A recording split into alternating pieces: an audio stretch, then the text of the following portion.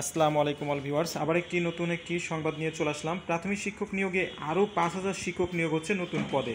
একটি সুসংবাদ নিয়ে ভিডিওটি চলে আসলাম। ভিডিওটি না টেনে পুরোপুরি দেখুন। প্রাথমিক শিক্ষক নিয়োগে আরও পাঁচ হাজার একটি নতুন পদে নিয়োগ দিচ্ছে সরকার। তো চলুন বন্ধুরা, কোন পদে নিয়োগ দিতে চলেছে পাঁচ হাজার শিক্ষক? তো চলুন বিস্তারিত জেনে নিই। সরকারি প্রাথমিক বিদ্যালয়ে শিক্ষক নিয়োগ পাচ্ছেন আরও পাঁচ হাজার একশো ছেষট্টি জন শিক্ষক। সংগীত ও শারীরিক বিষয়ে এসব শিক্ষক নিয়োগ দেওয়া হবে বলে জানিয়েছেন।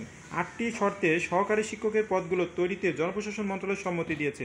গত আটই মে এ বিষয়ে মন্ত্রণালয় থেকে প্রাথমিক ও গণশিক্ষা মন্ত্রণালয়ে সচিবকে চিঠি দিয়েছে জনপ্রশাসন মন্ত্রণালয়। চিঠিতে বলা হয়েছে, চতুর্থ প্রাথমিক শিক্ষা উন্নয়ন কর্মসূচির আওতায় পাঁচ হাজার একশো ছেষট্টিটি সহকারী শিক্ষক পদ বছর বছর সংরক্ষণের ভিত্তিতে জনপ্রশাসন মন্ত্রণালয়ের সম্মতি জ্ঞাপন করা হলো।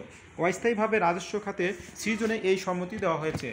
আটটি শর্তে বলা হয়েছে, এতে অর্থ বিভাগের ব্যয় ব্যবস্থাপনা অনুবিভাগ থেকে সম্মতি গ্রহণ করতে হবে, বেতন স্কেল নির্ধারণ করতে হবে, বাস্তবায়ন অনুবিভাগ থেকে। এছাড়া প্রশাসনিক উন্নয়ন সংক্রান্ত সচিব কমিটির সুপারিশ নিতে হবে, যে তারিখে মন্ত্রণালয় থেকে পদ সৃজনের আদেশ জারি হবে, সেই তারিখ থেকে পদ সৃজিত হবে। অস্থায়ী পদের ক্ষেত্রে মন্ত্রিপরিষদ বিভাগের আদেশে অনুসরণ করতে হবে।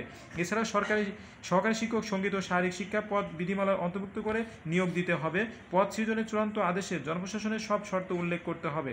পদ সৃজনে অর্থ বিভাগের সম্মতিপত্রের কপি ও প্রশাসনিক মন্ত্রণালয় পদ সৃজনের সরকারি আদেশে পৃষ্ঠাঙ্কন করা কপি জনপ্রশাসন মন্ত্রণালয়ে প্রেরণ করতে হবে। তো বন্ধুরা, অবশেষে প্রাথমিক সহকারী শিক্ষক পদে আরও ছয় পাঁচ হাজার একশো পদে শিক্ষক নিয়োগ হতে চলেছে।